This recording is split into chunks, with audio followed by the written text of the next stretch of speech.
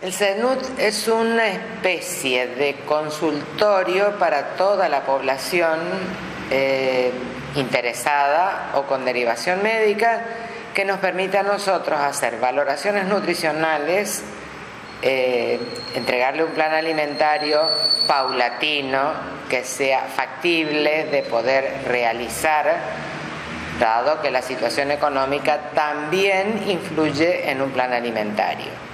Este gabinete está conformado por mí como coordinadora y las chicas que son eh, cursantes del cuarto año de la licenciatura en nutrición de la Universidad de la Cuenca del Plata. Lo que hacemos en el CENUD es primeramente consultoría nutricional, eh, de lo que más eh, estamos trabajando en este momento. También aparte hacemos charlas para hacer educación alimentaria y nutricional hasta ahora hicimos en, en escuelas diferentes días eh, con chicos de primero, segundo y tercer año de la secundaria.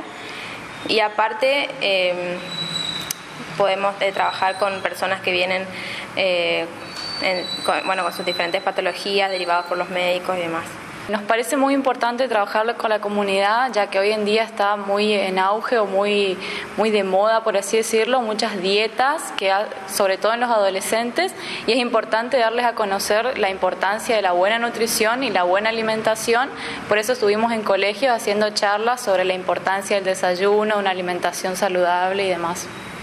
Las principales consultas es cómo alimentarse adecuadamente, más que nada, y también vienen por patologías como diabetes o alguna eh, intervención renal también.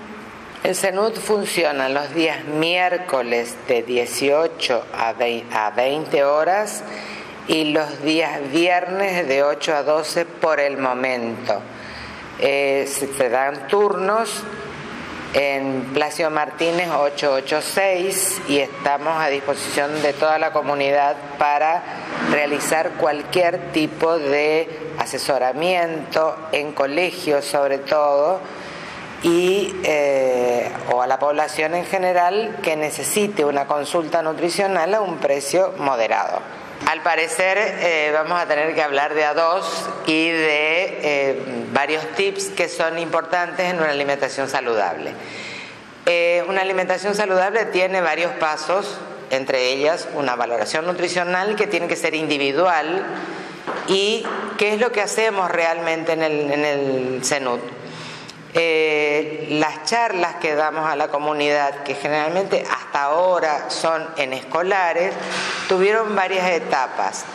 Entre ellas son los primeros años de la secundaria, donde hubo varios que estuvieron muy interesados y otros que eh, ya se acerca el verano, son más grandes, adolescentes y entonces se interesan más por los suplementos y todo ese tipo de eh, drogas, si se quiere llamar, para mm, porque les insertan ese, ese comentario de que es necesario. Entonces hay que hacerle entender a esta población de que no todo lo que se dice es saludable. Eh, cuando hablamos en, el colegio Rubino, las chicas estuvieron pasando videos, eh, dieron a difundir las guías alimentarias, que en realidad es como el alma mater de todo este eh, movimiento sobre alimentación saludable. Estos mensajes tienen tips muy importantes que van a toda la población y a todo el, espectro etario que tenemos dentro de eh, la población. No nos olvidemos que tenemos población infantil, adulta, eh, adulto mayor y ya después de los 70 ya pasamos a ser adultos muy mayores. Esos adultos muy mayores tienen ciertos requerimientos básicos que son importantes. Podemos hablar de la alimentación en, la edad eh, escolar, que según mi parecer tendría que empezar en el preescolar. Pero eh, por ahí todavía nos falta insertarnos un poco más para que esa inquietud pueda ser relevada o pueda ser escuchada y poder eh, desarrollar un programa de alimentación saludable desde el preescolar. Siempre debemos tener en cuenta eh, lo que es una alimentación saludable, llevar un, estilo de vida saludable que sea en conjunto. Ese tipo de alimentación adecuada, eh, la actividad física y una buena hidratación.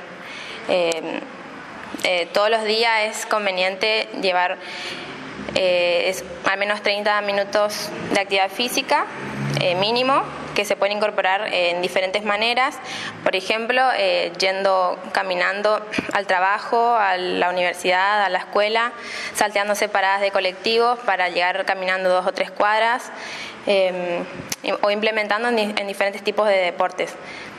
Em, en cuanto a un desayuno saludable, puede estar compuesto por eh, lácteos, eh, frutas, cereales, em, que, bueno, siempre debemos tener en cuenta que es el primer, eh, la primera comida, digamos, del día, lo cual es importante para desarrollar las actividades que se realicen en el, en el mismo, ¿no?